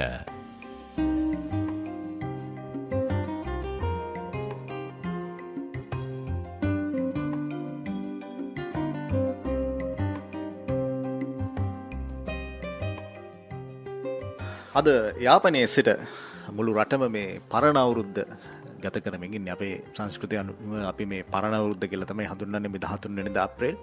අපි යාපනයේ සිට ඔබට පිරිනමන්නේ මේ වැඩසටහන මේ ඔවුන්ගේ සංස්කෘතික අංග මේ දිනවල කොහොමද සිදුවෙන්නේ කියන කාරණාවත් අපි විමසන්න බලාපොරොත්තු වෙනවා. ඊට පෙර ආතුව සමිනන්ද මහත්මයා මේ අපි කැමති දැනගන්න ඔබෙන් ඔබට සිංහල සමාජයේ සහ දෙමළ සමාජයේ අත්දැකීම් තියෙනවා. දෙමළ සමාජය කොහොමද කියවීම සඳහා ඔවුන්ගේ තිබෙන උනන්දු දැන් අපි දකිනවා කොල්ලඹ ජාතන්ත්‍ර ප්‍රදර්ශනයේදී සෑහෙන පිරිසක් පොත් මිලදී ගන්නටෙනවා එය දැන් ගාල්ල නුවර දක්වා ව්‍යාප්ත වෙලා තියෙන. යාපනය පැත්තටාවම එවැනි පොත් මිලදී ගැනීම සඳහා වන අවස්ථාවක් තිබෙනවද. ඔවුන්ට මේ ජීවන අරගලයත් එක් ඔවුන් සාහිතය නැතම් පොතපත කියවන්න උනන්දුවත් තියෙනවා. හැබැයි අපි දන්නවා දෙමළ සමාජය ඇතුලේ චිත්‍රපට නැරඹීම කියන එක නම් ඔවුන්ගේ එක්තරා විදිහක සංස්කෘතිකංගයක් බවට පත් වෙලා තියෙනවා. ඒ හා සමානවම පොතපත පරිශීලනයටත් ඔවුන්ගේ තියෙන රුචිය ඒ හා සමානමද? මෙමයි දැන් ලංකාවට අදාළව කරලාගත් සලකලා බැලුවොත් එහෙම අපි දන්නවා ලංකාවේ ජනගහණයෙන් සේට 17ක් විතර දෙමළ ජනගහනය. මම හිතන්නේ මුස්ලිම් සහ දෙමළ කියන ජනවර්ග දෙකමත් අරගෙන දෙමළ භාෂාව කතා කිරීම සහ සාහිත්‍ය පරිශීලනය සඳහා භාවිතා කරන ප්‍රමාණය ගත්තත් 120ක් විතර වෙන්නේ. සියලුම දෙනා එකතු වුණත්. ඉතින් මම හිතන්නේ ඒ 20ක් 25ක්. එතකොට දැන් ඔබ දන්නවා මේ සිංහල ඊට අති බහුතරය සිංහල භාෂාව තුළ ඉතින් ඒ සිංහල භාෂාව තුළ සාහිත්‍ය තුළ යෙදෙන අයගේ තුළත් මතුවෙන මැසවිලත් තමයි පොතපත කියවන්නේ නැහැ සහ පොතපත විකින්නේ නැහැයි කියලා. ඉතින් එවැනි තත්ත්වයක් තුළ ජනගානයෙන් සියයට විසි පහක් විතර අත්තර්ගත වන පිරිසක් අතර ලොකු ප්‍රත් ප්‍රමාණයක් මේවා කන්න අපි දන්න දැම් පොතක් වැනි ලේකදී යන මුද්‍රණ වියදම සිංහලෙන් ගැහුවත් දෙමලෙන් ගැහුවත් එකයිනි. එකයි. නමුත් එතකොට සිංහලට වඩා ජනගහන විසිප සියට විසි පහක් විතර ඉන්න පිරිසකට පොද්දාහක් ගහපුවම විකුණවන්න ගියම්ම ඇතිවන එක තියෙනවා. එක එකක් ලංකාව තුළ දෙවැනි පස්සෙන් තමයි ලංකාව තුළ කියවන ලබන පොත්තරින් ඇති බහුතරය ඉන්දියාව තුළ පලවන පොත්. ඉතින් ඒ නිසා ඒකත් එතකොට එක හේතුවක් වෙනවා. එ බෝවිට ඒ නිසා ඇතවසයෙන්ම සාපේක්ෂව ගත්තම දෙමළ සමාජය තුළ තවමත් කියවීම ප්‍රසතියක් තියෙනවා නැතිවෙන්න විදිහන්න මොකද යාපනය තුළ පමණක් දිනපතා පුවපත් හතරක් ප්‍රකාශ වෙනවා උදයෙන් පුවප්පත කාලය කදිරි පුවප්පත වලම්පුරි පුවප්පත යල්තින කුරල් පුවප්පත කියන පුවප්පත් හතරක් ප්‍රාසන. ඊට අමතරෝ සතිපතා පුවප්පත් පලවෙනවා දීප මෙදිරොලේ ඒ වගේ තව ගොඩක් ඒවල් යාපනය කේන්ද්‍ර කර ගනිමින් පමණ කරගෙන බෝවිට උතුරු පලාත කියලා කියන්නත් පුළුවන්.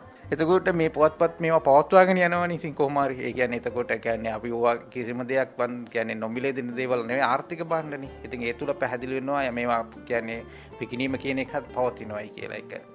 ඉතින් ඒ නිසා මම හිතන්නේ පොත්පත් ගත්තත් පලවෙනවා යාපනය තුළ බෝවිට අපි තැක්කොත් එහෙම පොත් දුරට වැඩිය මුස්සව එහෙම සතියකට ඉතින් කේපයක්ම පත්තරවල දකින්න ලැබෙන නිසා කියවීම කියන එක තවම තියෙනවා. මම හිතන්නේ ඒකාරය මේ ඉන්දිය පුතුත් කියවෙනවා ලංකාව තුළත් කියවෙනවා. ඉතින් ඒතා මම හිතන් ඉන්දිය ප්‍රකාශන වනත් ඉතාම විශාල වසනුත් මිලදී ගන්නවත් යාපනේ දැන් ඔබ දන්නවනං හෙම ඒ වගේම දැන් ලංකාවේ වීරකේසරි දෙනපතා පුවප්පත තමිල්නාඩුවේ පලවන තින තන්දි පුවප්පත මෙහ ප්‍රින්ට් කරලා දිනපතා වීරකේ සිරිපත්‍රයක් සමඟ දෙනවා. එතකොට ඒ වගේ මේ ඉන්දියාවේ පලවන භාර සංගරහ බොහෝ විට මෙහි ලැබෙනවා මිලදී ගැනීමට හැකියාව තියෙනවා. ඒ නිසා මම හිතන්නේ කියවීම කියන එක තවම යම් තාක් දුරකට හොඳ මට්ටමක තියෙනවා. නමුත් රූපවාහිනිය සහ සිනමාව ඊටාත්ම වේගවත් වැඩි ප්‍රේක්ෂක වැඩි පාට වැඩි පිරිසක් ආකර්ෂණය ලබා ගත්තත්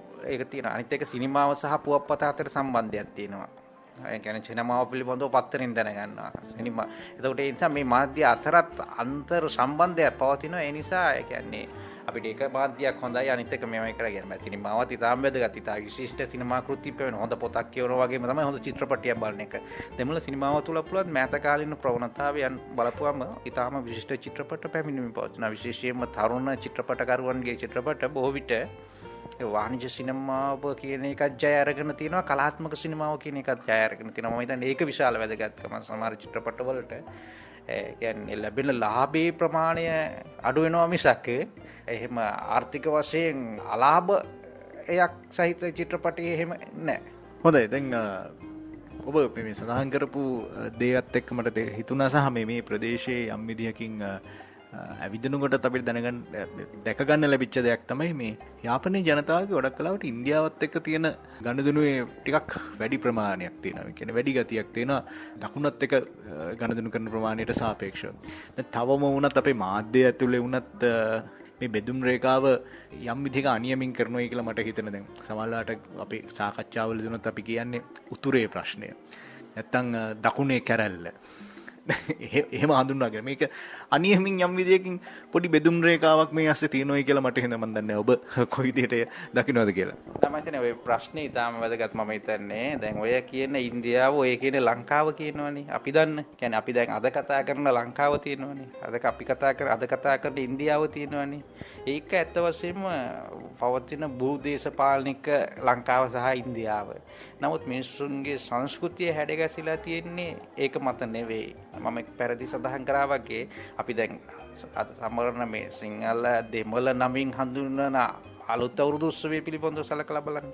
දැන් අත වශයෙන් අභිනය එක මේ සිංහල දෙමළයි කියලා කියන්නේ. ඒ කියන්නේ ඕක මම හිතන්නේ සිංහල දෙමළ කියලා හඳුන්වන්න පටන් ගන්න ඇත්තේ බොහෝ විට යටත් විජිත කාලයේදී ඔය ඩිමාඩු දීමේදී කැලන්ඩරේට තමයි මම හිතන්නේ ওই නම පාවිච්චි කරන්න ඇත්තේ. එහෙම නැත්නම් ඔබ ටිකක් හොයලා බැලුවොත් එහෙම ඈපා පංචාංගලිත එහෙම භාවිතා කරනවනේ පැරණි අය. ඒ වගේ දේවල් වලදී එහෙම නැත්නම් දෙමළ අය භාවිතා කරන ලිත් තියෙනවනේ. දෙමළ අයටත් තියෙනවා ලිත්. ඒ වගේ තුල එහෙම ඔය අදහසක් තියෙනවද මේක මේ සිංහල දෙමළ අවුරුද්දේ කියලා. එහෙම නෙමෙයි මම හිතන්නේ දැන් අපේ මම පෙර සඳහන් කරා වගේ තියෙන ලොකුම අඩුව තමයි අපි ඊටා මහත් සංස්කෘතියකින් ඉඳන් ඊටාත්ම වේගයෙන් සංකෝචනය වෙලා සංකෝචන වීම යනවා ඒකම තමයි මම හිතන්නේ ඔය සිංහල දෙමළ අලුත් අවුරුද්ද කියලා තියෙන. ඇත්ත වශයෙන්ම මේක සිංහල දෙමළ අලුත් අවුරුද්දක් නෙවෙයි. මේක ආසියාතික රටවල් වල පවත්වන පොදු උත්සවයක්. දැන් අපි ඒක මේ සිංහල දෙමළ කියලා හැටියට අර කැලෙන්ඩරේට දාන්න හින්දා ගන්න ඕනේ නෑ. මේක ඇත්ත වශයෙන්ම ඉන්දියානු සංස්කෘතිකය ආසියානු සංස්කෘතිය තුළ පවතින උත්සවයක්. විශේෂම ඕකේ තියෙන මේ ජෝතිෂය පදනම සූරයා නැසියෙන් මේස රාශියට පැමිණීමනේ. එතකොට කවුද පැමිණෙන්නේ? සූර්යයා සූර්ය හිරු සඳු. ඕකනේ දැන් ලංකාවේ වුණත් සංස්කෘතික වශයෙන් හැඟීම් වශයෙන් ඉතාම වැදගත් වස්තු දෙකක්නේ සූර්යයා සහ චන්ද්‍රයා ඉතින් මං කියන්නේ හිරු වැඳීම සඳු වැඳීම කියන දේවල් ආසියානු සංස්කෘතිය තුළ හින්දු සංස්කෘතිය තුළ ඉන්දිය සංස්කෘතිය තුළ පවතින දේවල්. ඉතින් එතකොට මේක මේ සූර්ය දේව වන්දනයත් එක්ක සම්බන්ධ උත්සවයක්. ඒ නිසා ඒක අපි සිංහල දෙමළේ කියලා හඳුන්වා දීම තුළ ඇත්තම අපි ඒක ඊටාම් පටුතනකට ගෙනවයි කියන එක තමයි මම හිතන්නේ. දැන් ওই දවස් තුලම බැලුවොත් එහෙම ඉන්දියාවේ වෙනත් ප්‍රාන්තවලත් ඕක සමරනවා. ඒකට සිංහල දෙමළ නෙමෙයිනේ.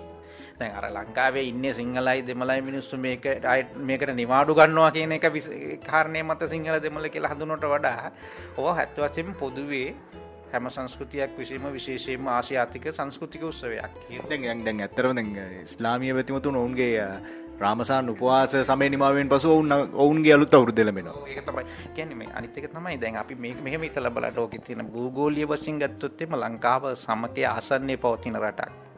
ඒ වගේ මාර්තු මාසය තමයි ලංකාවට හිරු මුදුන් වෙන කාලය කියන එතකොට සූරයා කියන්නේ ඉතාම ප්‍රබල ඇත්ත වසම මේක වසන්ත කාලයේ නෙවෙයිනනේ ලංකාවේ බොහෝ ප්‍රදේශවලට අප්‍රේල් මාසි කියන්නේ වසන්ත කාලයම නෙවෙයින්නේ. ඉතාම දැඩ්ඩි උෂ්ණත්වයක් තියෙන කාලේනි. එතකොට ඒ කියන්නේ සූර්යාගේ ලංකාවට සූර්යා මුදුන් වෙන කාලය. ලංකාව ඇතුළු ආසියාතික රටවල් වලට ඉතාම දැඩි වශයෙන්. එතකොට සූර්යා ප්‍රමුඛ කරගත්ත වන්දනයක් මේක. එතකොට සූර්යා වැදගත් වෙනවනේ ගෝවිතනට. එතකොට මේ උත්සව සේරමත් එක්කම සූර්යා වන්දනය කිරීම තුළ වැස්ස බලාපොරොත්තු වීම. හරි ඒවත් එක්ක. මහිතන් එකුසි සංස්කෘතියත් එක්ක. මේක සම්බන්ධයිනේ. දැ ඉස්ලාමායට හඳ වැදගත් වන්නේ රාත්‍රි කහලෙන හිත මොකද ඒ රටවල් වලට දැඩි අව්ව පෝතින විට හඳනේ වැදගත් වන්නේ කෘෂිකර්මාර්ථිකයක් තුළ වැදගත් වන්නේ සූර්යා. මොකද සූරයාගේ එක්ක සම්බන්ධව ඊට පස්සේ වැස්ස. හරිද? එතකට මේ ලංකාවේ දැන් අලුත් අවුරුදු සමය සමරණ කාලය ඇත්ත වශයෙන්ම ලංකාවට හිර මුදුන් වන කාරය එනිසා ඇත්ත වශයෙන් මේ කාලය තුළ සූර්යා කෙරෙහි පවත්වන උත්සවයක් හැටියට තමයි අපි මේක දකින්න පුළුවන් වෙන්නේ. දැන් දෙමළ මාස ක්‍රමය පටන් ගන්නේ ජනවරි 14 වෙනිදා විතර තයි කියන මාසය තුලින්. right සිංහලෙනුත් සිංහලෙන් තමයි බක් විසක් පොසොන් හැටියට පටන් ගන්නේ. හරිද? එතකොට මේක මේ මේ අප බලන්න ඕනන්නේ ඒ අනුව ඉන්දීය ලංකාරවම නෙවෙයි ඇත්ත වශයෙන්ම සංස්කෘතික සම්ප්‍රදායක් හැටියට මේක සමස්ත භාරතීය සංස්කෘතික සම්ප්‍රදායත් සමඟ එන දෙයක් ගැන භාරත එතකට අද තියෙන ඉන්දියාව සහ අද තියෙන ලංකාව නෙමේ යෝකද වැදකත්වන්න අපිතම අද ඉන්දියාව සහ අද ලංකාව වෙනස් වෙන්නේ දේශ පාලනික සහ භූගෝලිය වසෙන්නේ නමුත් සංස්කෘතිය තුළ එක එහෙම නෙවෙයින්නේ යැන ලංකාවේ සිංහල බෞද්ධ සංස්කෘතිය තුළ තියෙන බෝධේවලුත් සම්බන්ධ වන්නේ ඉන්දීය පරතීය සම්ප්‍රදායත් සමගම්බා කියන්නේ ඇතෙම මහා සංස්කෘතිය හැටියට වර්ධනය වුණේ. ඉතින් නිසා මම හිතන්නේ සිංහල දෙමළ කියලා අද හඳුන්වන මේ අවුරුද්දත් අපි බලන්න ඕනනේ ඒ වෙනුවෙන්. ඒ හැටියට. කොහොමද මේ අලුත් අවුරුද්ද ඇතුලේ මේ සංස්කෘතික සමානකම් දෙදෙන් අපිත් අලුත් අවුරුද්ද සමරන හැම නැකත් වශයෙන් එහෙම යම් වෙනස් දෙකක් තිබෙනවා නේද? නමුත් හැබැයි එකම සංස්කෘතික ලක්ෂණය තමයි මේ දෙපාර්ශ්වය තුළම දිවෙන්නේ. ඔව් දැන් මේමයි ඒකේ දැන් මේකේදී නැකත් තියෙනවා. කියන්නේ අපි හිතමු ගණදනු කරන වෙලාවන් තියෙනවා. ඒ වගේම ඒ නැකත් එළබෙන වෙලාහපන් අතර වෙනස්තිකන් තියෙනවා. එතකොට දැන් අපි හිතමු නෑම සඳහා අලුත් අවුරුදු සඳහා නෑම ඒ වගේ දේවල් සිංහල ඒ වගේ තිබුණා දෙමළ ඒ වගේ එහෙම නැහැ මොකද ඒ වගේ වල් හිස තෙල් ගෑම වගේ දේවල් අලු කෝවිල තුළම කරනවා එදාම. ඉතින් ඒ නිසා ඒ සංස්කෘතිකගේ මේවා එක දවස් සහ වෙලාවන් අතර වෙනස් තිබුණත් නමුත් පවත්වන බොහෝ චාරිත්‍රය සමානතාවයක් දක්න ලැබෙනවා. නමුත් දෙමළ සංස්කෘතිය තුළ මේක බොහෝ විට ආගමික නැඹුරුව අධික ලෙස දක්නට ලැබෙනවා. ඇ සාමාන්‍යයෙන් හින්දු බැතිමතුම් බොහෝ විට සිංහල දෙමළ අලුත් අවුරුද්ධ හැටියට සඳහන් කරන මේ දින දෙක තුළ මස්පාංස අනුභව කරන්නේ නැහැ. දැම්බ හින්දු අයගේ ඕනම සංස්කෘතික දිනයකදී මස්බාංස අනුභව කරන්න ඉති මේ දවස තුළත් මස්මාංස අනුභව කරන්න එත මේක එක අතකට සැනකලියකටත් වඩා ආගමික හා සංස්කෘතික පැත්තට තමයි වැඩි නැබරුවත් දක්න ලැබෙන්නේ දෙමළ සමාජය තුළ. ශනිදා කරලිය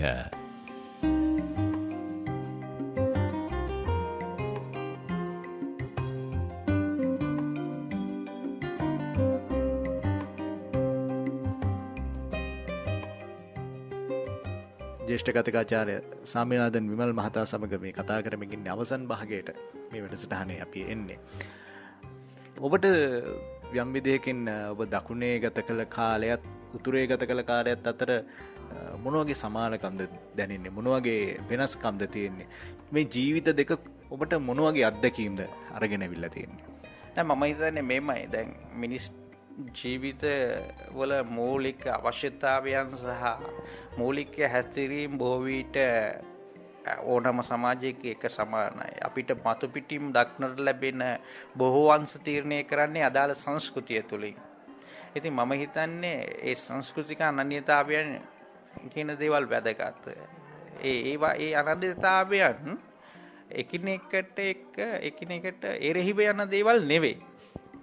ඒ ආධිපත්තිමය මතයන් තමත් කෙනෙ තවත් කෙනෙක්ව යටපත් කිරීමට දරන උත්සාහයන් වලති තමයි මේක ප්‍රශ්නයක් මත වෙන්න මිසාක තම තමන්ගේ සංස්කෘතිීන්ට අනුගතව ජීවත්වීම කියන එක ඒක අර්බුදයක් ඇතිවන්නේ නැහැ. දැ සාමාන්‍යයෙන් අපි කියනවන්නේ මේක මේ දේශපාලනිකව මේක තමන්ග එක තමන්ගේ පිරිස වැඩි කර ගැනීම සඳහා තමන්ගේ බවට පත් කර ගැනීමට දරන උත්සාහය තරමයි ප්‍රශ්නයක් වන්නේ මිසක් මම හිතන්නේ නැහැ. මිනිස්සුන්ට ඊට අමතරව එදිනෙදා ජීවිතයේදී මගේ සංස්කෘතියට අනිත් එකගේ සංස්කෘතිය ඇවිල්ල ලොකු තර්ජනයක් කරනවයි කියන මත එක එහෙම දෙක ඉන්නවයි කියලා. ඒ අයට තව තමන්ගේ අතිබහුතරයට තම තමන්ගේ දිනෙදා ජීවන අවශ්‍යතාවයන් සපුරහා කරගන්නේ කොහොමද කියන්නේ ලොකු අර්බුදයක ඉන්නේ. නිසා එත වසයෙන්ම මිනිස්සුන්ගේ බෞතික අවශ්‍යතාවයන් සපුරාදීම තමයි සහ ඒ සඳහා සංවිධානගත වීම තමයි දේශපාලනය රාජ්‍ය කියන එක ගොට නැගෙන්නේ ඉති මම හිතන් ඒ කාරය නිසි විදියට කෙරෙනවා නම් මිනිසුන්ගේ සංස්කෘතික ලෝකය මිනිස්සු තමන්ට කැමති විදියට නිර්මාණය කරගන්නේ මොකද පවතින වර්තමාන ලෝකය තුළ අනෙකාගේ අයිතිවාසිකම් ගොඩට ගරු කිරීම කියන එක අනිවාර්ය දෙයක් වෙලා තියෙනවා. ඉතින් ඒ නිසා එහෙම ප්‍රශ්නයක් නැහැ. මම හිතන්නේ ඒ නිසා මේ උතුරේ වේවා දකුණේ වේවා එන මිනිස්සු ජීවත් වෙන විදිහේ සංස්කෘතියේ තියෙන වෙනස්කම් තියෙනවා. අපිට අවශ්‍ය වන්නේ ශිෂ්ටාචාරය කියන එක. මොකද්ද සංස්කෘතිය සහ ශිෂ්ටාචාරය කියන එක අතර තියෙන වෙනස කියන එක පිළිබඳව දෙමළ කවියෙක් ඉන්නවා සහ ගීත රචකයෙක් වෛරමුත්තු කියලා ඉතාමත් ප්‍රකට. ඔහු කියනවා මොකද්ද මේ දෙක අතර තියෙන වෙනස සංස්කෘතිය සහ ශිෂ්ටාචාරය. කියන්නේ මම ඔබේ ගෙදරට ගිහිල් ගියාට පස්සේ ඔබ ආයුබෝවන් කියලා පිළිගන්නවා නම් ඒක ඔබේ සංස්කෘතිය. ගෙදරට නෙන එක්කෙනාව පිළිගන්නව නම් ඒක ඔබේ ශිෂ්ටාචාරය. දැන් මම ඔබේ ගෙදරට පස්සේ ඔබ ඔබගේ ගෙදර තියෙන කෑම මට දෙනකොට ම මොන කෑමද දෙන්නේ කියන එක තීරණය වන්නේ ඔබගේ සංස්කෘතිය මතින්. මට මම ඔබගේ ගෙදරට ආවට පස්සේ මොන කෑමද දෙන්නේ කියන එක තීරණය වන්නේ ඔබගේ සංස්කෘතිය මතින්. නමුත් මට කෑම ටිකක් දෙනවද නැද්ද කියන එක තීරණය වන්නේ ඔබගේ ශිෂ්ටාචාරය මතින්. මම හිතන්නේ අපිට අවශ්‍යතාවය තියලා තියෙන්නේ මෙතන සංස්කෘතිය නෙවෙයි ශිෂ්ටාචාරය කොහොමද ගොඩනගන්නේ කියලා කියන්නේ ශිෂ්ට මිනිසෙක් බිහි කරන්නේ කොහොමද කියන එක.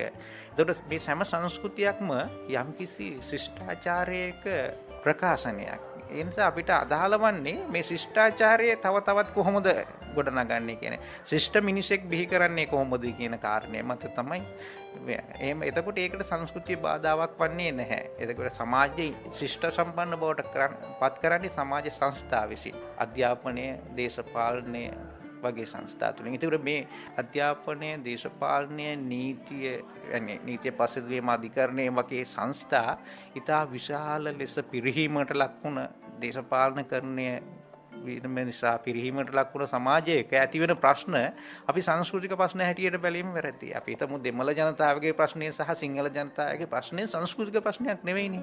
ඇතිවෙලා තියෙන්නේ රාජ්‍ය කියන්න ආයතනය දේශපාලන ආයතනය ගොඩනැගීමේදී අපොහොසත්වීම කොන්කිරීම ඇතුල් කර ගැනීමට දැක්වූ වකමැත්ත වැනි කාරණා මත ඇති වූ ප්‍රශ්නයක් මිස සිංහල අය තමන්ගේ ශිෂ්ඨාචා සංස්කෘතියට අනුව ජීවත්වීමට යෑමත් දෙමලාය තමන්ගේ සංස්කෘතියට අනුව ජීවත්වීමට යාමත් තුළින් මතු විච්ච ගැටලුවක් නෙවෙයි. අනිත් එක් ඒ නිසාම මේක මේ සිංහලයට දෙමලායක සංස්කෘතිය මේකයි දෙමලයට සිංහලයගේ සංස්කෘතිය මේකයි කියන එක පැහැදිලි කිරීමකින් විසඳන්න පුළුවන් දෙයකුත් නෙවෙයි. දැකැන දේශපාලනික තලයේ තියෙන ප්‍රශ්නවලද දේශපාලනික තලයෙන් තමයි විශ්වාස අපිට එක විසඳන්න පුළුවන්. අධ්‍යාපනයේද අධ්‍යාපන තලයක තුළින් එස මහිතන්නේ වදහත් වැදකුවත් වන්නේ මිනිස්සු ශිෂ්ට සම්පන්න බවට පත් කරන ක්‍රියාවලිය ඒ ආයත්තන කොහොමද අපි වැඩි දියුණුද පත්වයට පත් කරන්නේ කොහොමද ඒවා වර්තනය කරන්නේ කොහොමද ඒවා ආරක්ෂා කරන්නේ කොහොමද ඒවා ප්‍රජාතන්ත්‍රීය කරණය කරන්නේ කොහොමද ඒවා පිළිබඳව මිනිස්සු තුළ විශ්වාසයක් ඇති කරන්නේ කියන ජයග්‍රහණය මත තමයි මම හිතන්නේ මිනිස්සුන්ගේ ප්‍රශ්න විසඳා ගැනීමට හැකි වන්නේ. ඒක නිසා මම හිතන්නේ ලංකාවේ කිසිසේත්ම සංස්කෘතික ප්‍රශ්නයක් කිසිම කෙනෙකුට තියෙනවයි කියලා. හැබැයි මේ ඔබ ඔය කියපු තත්වයන් වෙනස් කරගන්න ඕනෙත් අපිනේ. මොකද ලංකාවේ හඳුන්වන්නේ ශ්‍රී ලංකා ප්‍රජාතාන්ත්‍රික සමාජවාදී ජනරජය. ඒ කියන්නේ අපිට අයිතියක් තියෙනවා. මෙච්චර දේවල් පෙනිපෙනී තියෙද්දී ඇයි අපි ඒ වෙනුවෙන් උනන්දු වෙන්නේ නැත්තේ හෝ පෙරට එන්නේ නැත්තේ හෝ අඩුම තරමින් අපිට ලැබෙනවානේ වසර හයකට වතාවක් හරි අපිට යම් බලයක් ලැබෙනවනේ මේ පත් කරන්න හෝ වෙනස් කරන්න හෝ නැවතගේන්න හෝ මේ බලය මේ මේ නිදහසෙන් පසුව ඒ බලය ලංකාව තුළ පාවිච්චි වන්නේ පුද්ගලයන් වෙනස් කිරීම සඳහනි පවත්තින්න ක්‍රමය තුළ තියෙන අඩුපාඩු වෙනස් කර ගැනීම සඳහා නෙවෙයිනේ. අපි හැමෝම ඡන්දෙදි ඡන්දේ පාවිච්චි කරනවා ඉන්නේ කෙනා නරකයි කියලා තව එක්කෙනෙක්ගේම සඳහා. වාහනයක් නම් රියදුරා වෙනස් කිරීම සඳහා වෙනස් කරනවා. අපි කිලෝමීටර් 5ක් යන්න කියලා බලාපොරොත්තුවෙන් රියදුරෙක් ගන්නවා. කිලෝමීටර් එකහමාරක් යනකොටම තේරෙනවා අපිට මෙයා හරියන්නේ නැහැ. මෙයා අපිව කිලෝමීටර් දෙකක්වත් ගෙනියන්නේ නෑ එහාට මේ අවුරුදු මේ පහත් තුළ මේ කාලය තුළ කියලා ඊට පස්සේ අපි තව කෙනෙක් තෝරගන්නවා. නමුත් අපි ඒ වාහනය තුළ තියෙන ප්‍රශ්නේ මොකක්ද කියලා එක බලන්නේ නෑ. අපි නිතරම බලන්නේ රේදුරා පිළිබඳව. එතකොට නමුත් අපිට ඇත්ත වශයෙන්ම වාහනයයි වෙනස් කරගත යුතු වන්නේ නේ. වාහනය. ඒකට දැන් අපි හිතමු අලුත් ආණ්ඩු ක්‍රම ව්‍යවස්ථාවක් පිළිබඳව. කතාවක් වුණා. දැන් ඒ වගේ දේවල් වලදී මිනිස්සු ඉතාමත්ම අඩු අවධානයක් යොමු කරන්නේ. මිනිස්සු හිතන්නේ ඒක නිකන් මේ ආණ්ඩුක්‍රම ව්‍යවස්ථාවක් ඒව ඒව එත වැදගත් දේවල් නෙවෙයි කියලා. නමුත් බොහෝ ශිෂ්ටාචාරවත් සමාජයන් මේ තත්වයට පැමිණලා තියෙන්නේ අඛණ්ඩවම මේ දේශපාලන ආයතන රාජ්‍ය ආයතන මහජන ආයතන ප්‍රජාතන්ත්‍රවාදීකරණයට දරපු උත්සාහයන් මතනේ. මැක්නොකාඩා ගිවිසුමේ ඉඳලා. හරි දිගටම අපි ගත්තොත් එහෙම ඇමරිකම් ව්‍යවස්ථාව වෙන්න පුළුවන්. එහෙම එහෙම ආව හැබැයි එකක් තුලම තියෙන්නේ මිනිස්සු ඊළඟ සමාජ අවධිය කරහා කොහොමද අපි යන්නේ කියන්නේ ඒකට හරියන විදිහේ සැලැස්මක් අපි සකස් කර ගැනීම කියන එකනේ. දැන් ඒ වගේ තත්ත්වයන් පිළිබඳව ලංකාවේ බොහොම අඩුවෙන් අවධානය පවතින දැන් ආණ්ඩුක්‍රම ව්‍යවස්ථාව කියලා කියන්නේ ගොඩක් අය හිතන්නේ නීති පොතක් වගේ දෙයක්. හැටියට මේක නීති ටිකක් තියෙන දෙයක්. එහෙම නෙවෙයිනේ. අපි අපි හොද හෝ නරක හෝ අපි බොහෝ දේවල් අනුක්‍රම ව්‍යවස්ථාව තුලින් ආරක්ෂා වෙන්නේ. ඉතින් දැන් අදුම වශයෙන් අපි බලලා කල්පනා කරලා බලන්න පාර්ලිමේන්තු විසිරුව හැරීම වැරදි කියන එක මිනිස්සු තුල අතිබහුතරය තුර මතයක් තිබුණනේ. ඒ මතයට සුජාත භාවයක් සහ වළංගු භාවයක් ලැබුණේ ආණ්ඩුක්‍රම ව්‍යවස්ථාව තුල ඒක තිබුණ හින්දානේ. ඒක ආණ්ඩුක්‍රම ව්‍යවස්ථාවේ ඒ වගේ වෙනසක් තිබුණ හින්දානේ. ස්වාධීන කොමිෂන් වගේ දෙයක් ආවට පස්සෙනේ සමහර වෙනස්කම් කරන්න පුළුවන් වෙලා තියෙන්නේ. දැන් තොරතුරු දැන ගැනීමේ පනත තුලින් යම් කිසි දෙයක් සිද්ධ වෙලා තියෙනවනේ.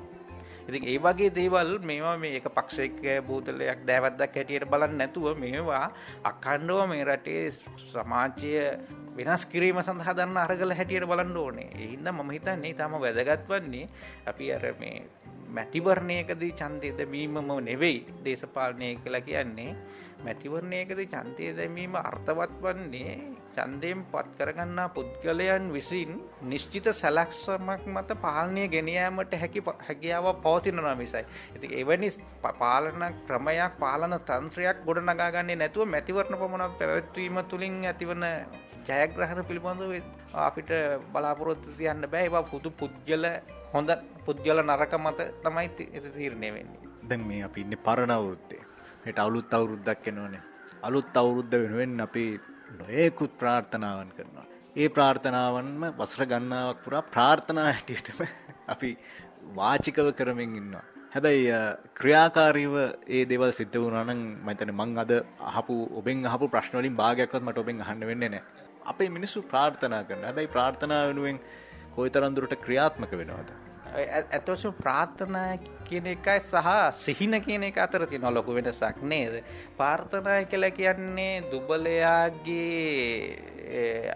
දුබලයා බලාපොරොත්තුරදී ද කියන එක මේ කෙන පාර්ථනා බිලිවලදී තියෙන ඉතාම වැදගත්දී තමයි ඒවා මේ අනිත් අය කරලා දෙන ඒව තමයි බලාපොරොත්තු වන්නේ. මම හිතන්නේ ඒ අතින් බලනකොට අපිට අවශ්‍ය වන්නේ ප්‍රාර්ථනා නෙවෙයි සිහින. දැන් I have to dream කියලා කියනවනේ මැල්කම් එක්ස් කී ඉතාමත් විශිෂ්ට ප්‍රකාශනේ මට සිහිනයක් තිබී. එතකොට ඒක යන්නේ එතනදී ඒ සිහින මිනිස්සු සැබෑ කර ගැනීමට උත්සාහ දෙනවා. එතකොට මට සිහිනයක් තිබේ කිව්ව මේ සිහිනය සබා කිරීම සඳහා උත්සාහ කිරීම. ප්‍රාර්ථනාව කියලා කියන්නේ අපිට යම් කිසි කෙනෙක් වෙනත් කෙනෙක් කරලා දෙයි කෙනෙක්. ඒ තමයි හිතන්නේ ප්‍රාර්ථනා අත්මෝෂෙන් ඒ අර්ථයෙන් පාතරවන ඉඳන් සිහින දක්වා මාරුවීම තමයි මම හිතන්නේ අලුත් අවුරුද්ද තුල ඉතාමත්ම වැදගත් වන්නේ මම හිතන්නේ හැමෝම මේ මම අද ජීවත් වෙන මේ සමාජයේ පවතින සමාජ සංස්ථා මීට වඩා හොඳට වෙනස් කිරීම සඳහා මා කළ හැක්කේ මොකක්ද ඒ වෙනුවෙන් දායකත්වය දැක්විය හැක්කේ මොකක්ද අඩුමුවස්සෙන් ඒ සඳහා වන කටයුතුවලදී මම සතර අගති කියලා තියෙනවනේ. ඒ වගේ මිදිලා කොහොමද? ඡන්දය දේශයේ මෝහය බය. කැමැත්ත නිසා දේශපාලන හෝ ජාතිය පිළිබඳව තියෙන කැමැත්ත මත තීරණය නොගන්න සිටීම. එහෙම නැත්නම් අනිත් කොටසක් පිළිබඳව තියෙන ද්වේෂය නිසා තීරණය කරන නොගිනීම සිටීම.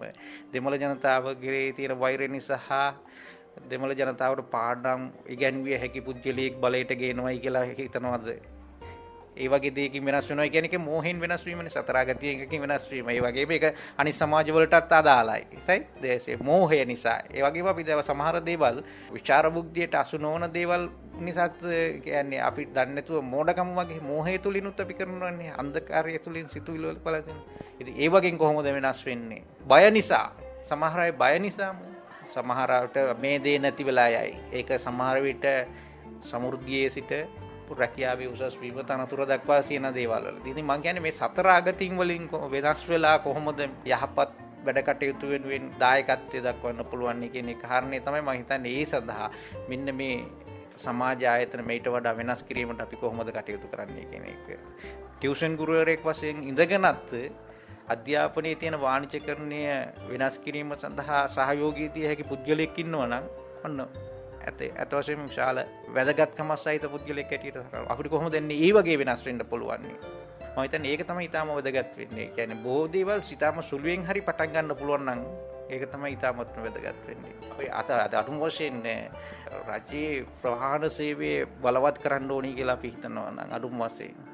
එතනදින් පටන් ගන්න පුළුවන්නේ මොකද පාසල් ළමයින්ට තවමත් සීසන් ටික ටික දීලා එකරගෙන යනෝනේ රජයේ ප්‍රහාණ සේවය.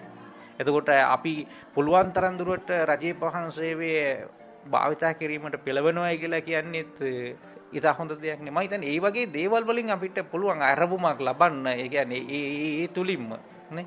දැන් අත්ත වශයෙන්ම හැමදාම කියන්නේ දුම්රිය සේවය පාඩුවට යනවා ළංගම පාඩුවට යනවායි කියලා. ඒ කියන ඒ සහ ඒ මිනිස්සු එතකොට මිනිසුන්ගේ සල්ලිත් ඒ සුලින් වැය කරනවානේ මහජන සල්ලි. එතකොට මිනිස්සු Tamanට කෝච්චියටත් සල්ලි දීලා ප්‍රයිවට් බස් එකේ යනවනම් තේරෙනවා මම මිනිස්සු හිතන්න ඕනේ නැහැ මොකද මේ මහජන මහජන ප්‍රවාහන සේවය පවතින්නේ අපේ වියදමින් එතකොට අපි ඒකට ඒ අයට සල්ලි දීලා වැරුප් දීලා තව එක්කෙනෙකුට සල්ලි දීලා ගාස්තු ගෙවලා යනවායි කියන.